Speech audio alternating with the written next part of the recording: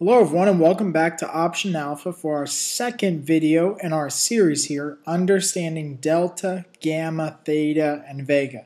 Now I know all these Greek words mean a lot to you guys and seem very confusing on the outside, but I promise you with this video you'll understand completely how each of these affects the pricing of an option during the expiration cycle.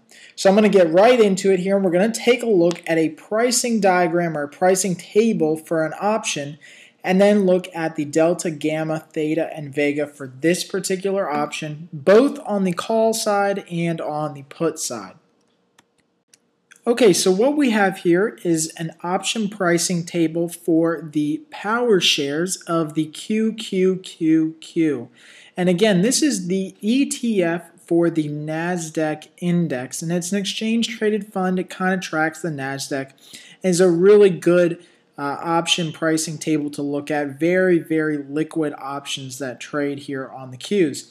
Now, just for reference, the Qs did close at 49.23 today down about 43 cents, about 1% as the making of this video, or at the making of this particular video. Now here is the pricing table that we're going to look at today. On the left side we have the call options, and you can see right here that delta, gamma, theta, and vega are already listed for us. And then we have the put options on the right side of your screen here. And this is again where delta, gamma, theta, and vega are already listed. Now these boxes in between here, the bid and the ask, that's just the price of the option, the bid-ask spread. The column down here in the middle is the expiration period. So you can see here that we actually are looking at these particular options right now at a November 2010 expiration type option. Now, obviously, by the time you watch this video, this will probably be way beyond November 2010, but all of these sort of guides and guidelines here work for any of the option pricing screens that you'll probably be looking at. It'll just be a different expiration period. Now, right next to the expiration period or the month of expiration is the strike price of these options. So again, you can see we have $1 increments of these options. So let's get into it here for the calls. Now, very simply, we're going to start with delta. Delta is the incremental price movement in an option for a 1% move or a one point move in the underlying security. So you can see here that delta right now for these 49 November calls is about 0.54. So what that's telling you is that if the Qs were to trade up by one point, that you would make about 54 cents per option contract on this trade. In this case, the 54 cents equates to about $54 in value for this one option contract. Now, if we go over here and take a look at the put options, we know that puts, when we trade puts, we want the underlying security or stock to go down. So you can see here that delta for a put option is always negative because an increase in the stock price is not good for put option buyers. So you can see here that for these 49 November puts, we have a delta of negative 0.46. So meaning if the Qs trade up by one point, we will actually lose about 46 cents, which equates to about $46 on this one contract for the put option. So again, that's a real big difference and help you can really help you understand how options are traded. You can see that as we go out of the money for put options, the delta becomes less and less. It's not equal across all fronts.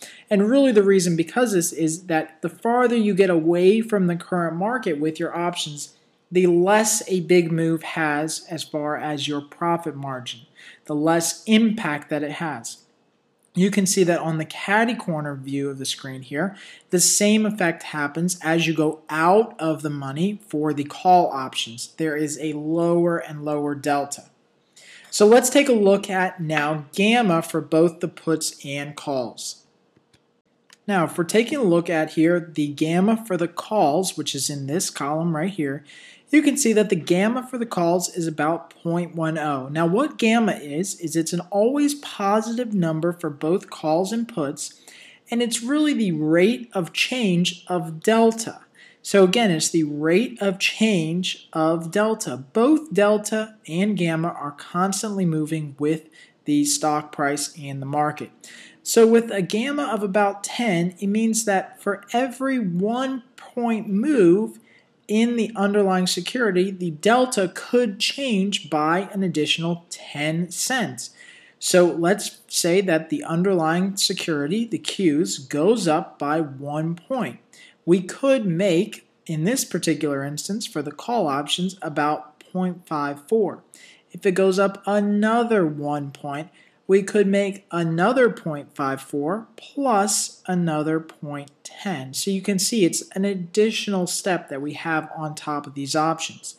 If we go over here to the put options, again you can see that gamma is positive because it's the rate of change of delta and has no effect on what delta is. If we look at these put options for the 49 strike put, you can see that if the Qs trade up by one point, we'll lose 46 cents. If the Qs trade up by another point on top of that, we could lose 46 cents once again, plus another 11 cents on top of that. So you can see it just compounds on top of itself until it's basically worthless.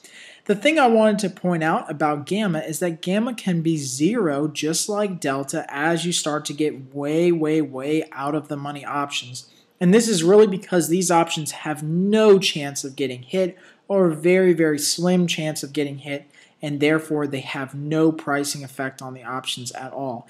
And you can see that this happened as well in the lower priced options for puts as you get out here towards the lower end of the 40s. There's a slim chance that these are going to be hit by November, and therefore the delta and gammas are very low. Now, the last thing that we're going to look at here is actually the options theta. Now, theta is the most important part of the pricing period for options for this one particular reason. It is always negative, meaning it's always working against you as an option buyer, but not as an option seller. Now you can see here naturally why we choose at Option Alpha to be in strategies that are focused and built on option selling. And that's because we have theta working in our advantage, or time decay working in our advantage. Theta is very simply the money that you lose every day because you get closer to expiration. Now, theta is going to be obviously bigger for those options that are closer to the current strike price and the current market price of the options. And that's why you can see here these call options right around 47 to 50 for these calls have a theta of 0.02 versus these options that are a little bit more in the money or a little bit further out in the money. Now, theta is that one thing you can never, ever, ever get away from. It's always there and it's always losing money. So, the big trick, really the big scheme or the big myth about options is that if the market moves higher and you have a call, that you're definitely going to make money. And that just not is true. If the market moves higher, yeah, you could make money, but it has to move fast enough and quick enough so as theta doesn't decay the value of that option. Theta is just that little thing that's eating away at your value of your option slowly every day. And then when you wake up at the end of expiration, you have no value in this option and you have a big loss on your hands. So again, theta is something very important that you want to take a look at. Again, clearly you can see that as you get closer to the current market, these at the money options, theta becomes more and more powerful and eats away more and more at the value of the option. Okay, so we've already covered delta, gamma, and theta. Now we're going to cover the vega of these options. Now vega is very, very simple, and that's because the V stands for volatility. Basically what vega is, is it's the change in the option value for every 1% increase in volatility. Now we know that options have a finite life, so as the market becomes more volatile, there's more swings in the market, the market's trading very irrationally and very rapidly, as opposed to trading very, very flat. The more swings that we have in the market, the more likelihood that those options are going to be worth more at expiration. So you can see here that the Vega for every option is always positive unless you get to these more finite outer end type out of the money options. Now, it's always positive because an increase in volatility can go both ways. It can be an increase in volatility that has a major sell off, or an increase in volatility that has a major rally on our hands. Obviously, just like everything else that we've already learned about delta, gamma, theta, the closer you are to the current market price or the current strike price, the more impact you'll have on Vega and your option price. Now, this also works in the reverse. If we have volatility that is going down, then we can have these options become worth less just because the market is a little bit more flat and a little bit more calm. In this particular instance, for these call options right here, you can see that the volatility premium is about 7 cents per option. Now, if volatility were to increase just 1% and nothing else would change, at this point you would make about 7 cents because of the increased volatility in the market. If volatility were to go down 1%, you would lose about 7 cents, assuming nothing else changes. So again, I hope this has been really helpful for you about delta, gamma, theta, and vega and how they affect the pricing of an option.